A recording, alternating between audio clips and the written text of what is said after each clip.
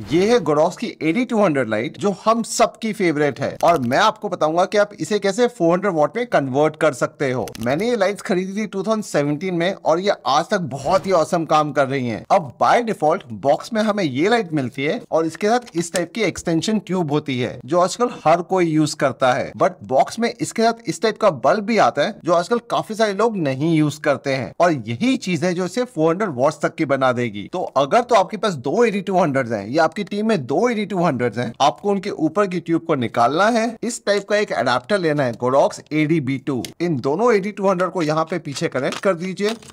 और जो आपके एडी टू लाइट के साथ इस टाइप के बल्ब आए थे, उन्हें इस अडेप्टर पे कनेक्ट कर दीजिए। अब क्योंकि ये बोइंस माउंट है तो इसके ऊपर आप कोई भी बोइंस माउंट की एसेसरी लगा सकते हो। And the best part is अगर आपको सिंगल फ्लैश यूज़ करनी है तो एक ही फ्लैश को ऑन करो and only one will work और अगर दोनों की पावर चाहिए 400 वॉट्स तक की तो on both of them it will give you the combine power है ना? 200 वॉट में 400 वॉट तक का मज़ा। अब आठ साल तक तो ये लाइट्स ऑसम चल रही हैं बट इस वीडियो के बाद अगर बाई चांस नज़र लग गई तो गोरॉक्स प्लीज़ भिजवा देना। आप लोगों के लिए बहुत सारे वीडियोस बनाता हूँ मैं। गोडॉक्स है तो पूरा पैसा वसूल है। मानते हो कि नहीं? और ये भी लिख के बता दो कि आप गोडॉक्स की कौन सी लाइट यूज़ करते हो। और इस टाइप के ऑसन टिप्स के लिए मुझे फॉलो कीजिए। Take care